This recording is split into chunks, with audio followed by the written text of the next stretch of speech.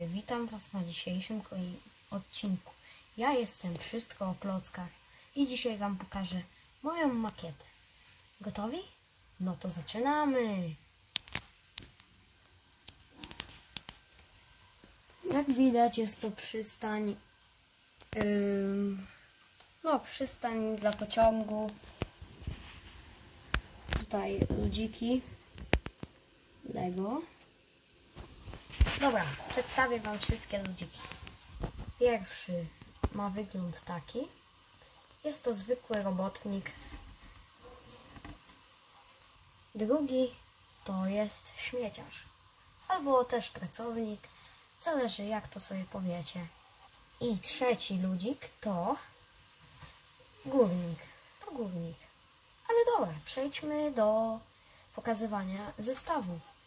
Jak widać, moc jest świetnej formie. No, przepraszam w ogóle Was, widzowie, że dzisiaj filmik będzie taki trochę krótszy, ale to nic. No i w sumie to wszystko, jakbym chciał Wam pokazać z moich moców.